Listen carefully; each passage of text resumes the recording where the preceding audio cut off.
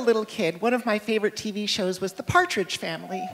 It was about it was about a mom and her kids. They played in a band together. They had all kinds of fun adventures, and it was such a neat family. I wish I could have called that one my home.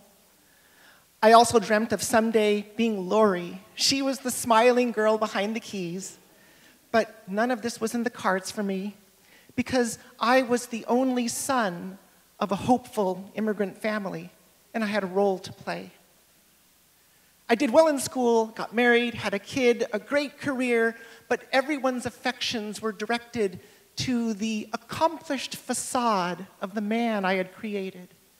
And I felt very alone.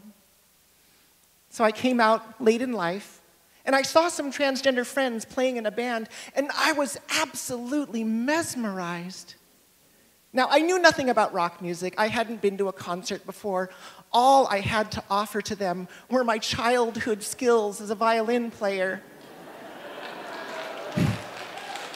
but I promised I would work hard, I would study any instrument.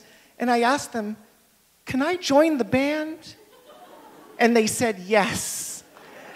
And so I bought a whole bunch of equipment. I learned how to play the keys. We put together hours and hours of music so we could fill an entire night. And we started looking for our first big public shows to play. And it was in the town of Port Angeles, Washington, which is a pretty rugged and coastal town way out on the Olympic Peninsula. I know it mainly for logging and fishing.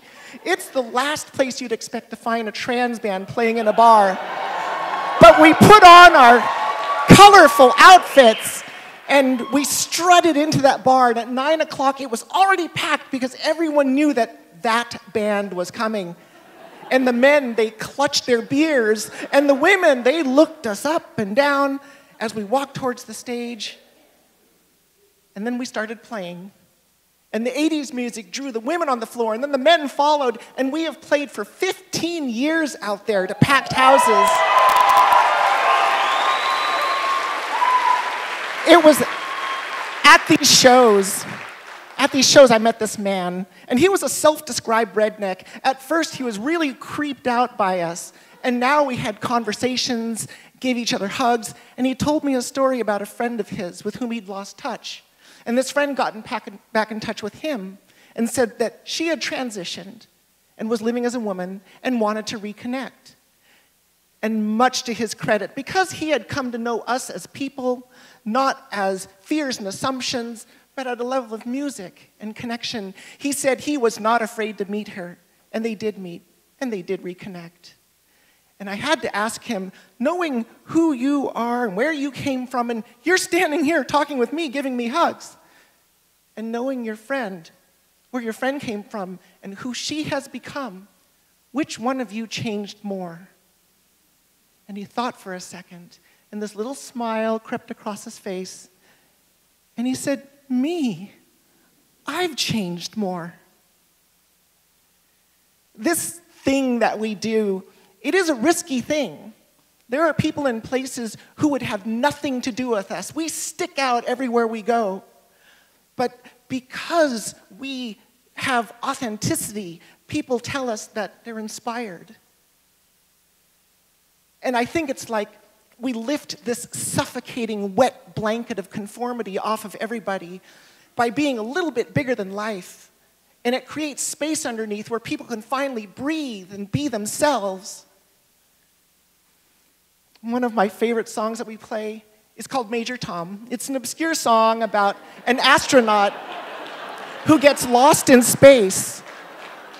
And even though he's lost, it ends on this beautiful chorus over and over of I'm coming home. And I can look across our audiences and I see young, old, gay, straight, queer, trans, abled, and not.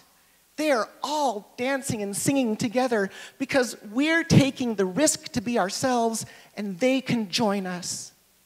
And when that chorus hits, Everyone tips their heads back and they reach their hands for the ceiling and they're all singing, I'm coming home. And me? I'm the smiling girl behind the keys. I'm making music and people are dancing and singing with me. It feels like home.